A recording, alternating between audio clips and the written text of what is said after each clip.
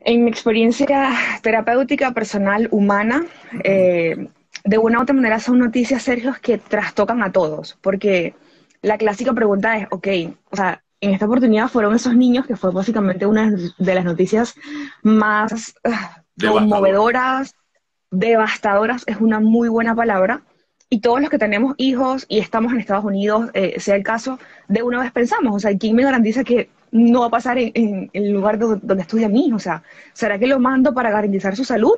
¿O será que mejor, mira, prevengo esto porque lo prefiero vivo y lo educo en casa, pero que no se enfrente a esto, ¿no? Yo creo que lo que dices es muy cierto, si se cumple de una u otra manera un patrón, y el primero de ellos radica en que son personas de temprana edad, ¿sí? Eh, se sabe desde la psicología que en la adolescencia inicial, mediana o tardía, aproximadamente hasta los 21 años, que se considera aún el término adolescencia, hay mayor impulsividad, es decir, más dificultad de, resistir a los impulsos. Impulsos como la intolerancia, la frustración. Algo pasa, algo desencadena. Algo es como que el switch, que la gota que derrama el vaso y la persona básicamente detona. Pero no es menos cierto que notablemente no son personas eh, del día a día, que uno las pueda ver en el día a día, siempre hay un trastorno de base, o la mayoría de las veces, corrijo, donde incluso hablamos de algo tan severo como lo es eh, la psicopatía.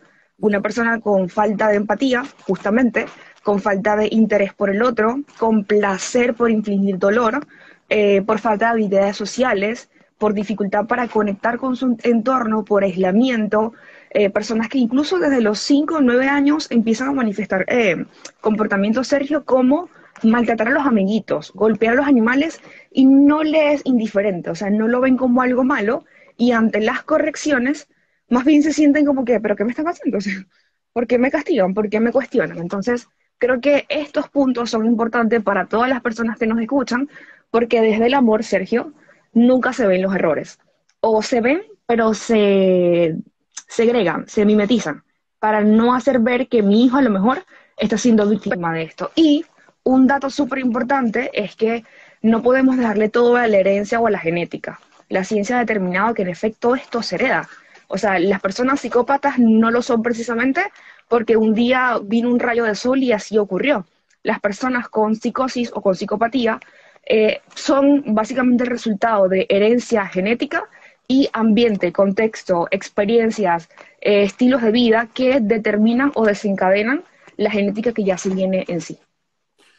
Wow. Eh, por ejemplo, en casa, eh, María, ¿cómo uno puede detectar que hay, no sé, ciertos vestigios de una persona que tenga este tipo de, no sé si llamarlo así, psicopatía, ¿no? De, o de inclinación a actuar de, mala manera. Ojo, porque es que uno piensa nada más que eso pasa aquí en Estados Unidos, donde hay, por supuesto, hay un, eh, sabemos que no hay un control de armas correcto, ese es otro tema que no viene al caso.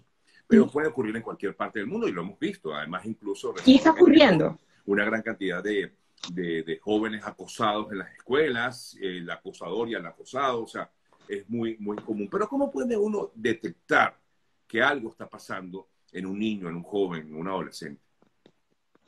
Mira, yo creo que más allá de irnos a las clásicas comparaciones de los padres como que quién camina primero o quién deja el pañal primero, es centrarnos en, aspectos más emocionales. Hay una cosa que se llama eh, congruencia afectiva y por tanto su contrario es la ambivalencia afectiva. Nosotros podemos más o menos eh, darnos cuenta cuando una persona no está siendo congruente con lo que está experimentando. Concreto, cuando un niño le pega a un gato y en lugar de sentir como algo extraño, lo disfruta o tiene eh, expresiones de risa o de placer, eso es una alarma. Cuando un niño, por ejemplo, rompe las paredes o tú le ordenas algo y él te mira, se ríe y hace lo opuesto, eso es un indicador de que hay incongruencia, porque lo esperable es que ante la emisión de una orden, la persona se detenga y reconozca la autoridad. Claro, probablemente estos pueden ser aspectos para otros trastornos, pero ya es un indicador de que algo está pasando. Por lo general, en casos de personas con eh, psicopatía, son niños que les gustan o tienen cierta afinidad a las armas. si yo me llego a dar cuenta que, por ejemplo, mi hijo tiene un especial atractivo hacia las armas blancas, hacia las armas de fuego, hacia algún tipo de herramienta para infligir dolor, debe ser una alarma para mí. Y, por ejemplo, evitar el naturalizarlo, el comprarlo, y comprarle muchos jugueticos, muchos videojuegos, porque lo que estamos haciendo es entonces eh, que esa predisposición genética se reavive con la experiencia y con el contexto potenciador de esto. Son algunos de los indicios. Otra de las cosas es que por lo regular les cuesta socializar, les cuesta disfrutar comúnmente el espacio social con amigos, con compañeros. Son personas que prefieren más bien estar aislados y que por alguna razón tienen un sentimiento de resentimiento, de no ser entendidos, de no ser comprendidos, de no ser valorados. Y desde ese sentido cobran necesidad de venganza. Insisto, es algo tan severo como un desbalance bioquímico, es algo tan severo como una alteración en la funcionalidad cerebral, pero debe ser tratado con muchísima responsabilidad para justamente prevenir de base, Sergio, todos estos incidentes que tan devastadoramente nos afectan a todos.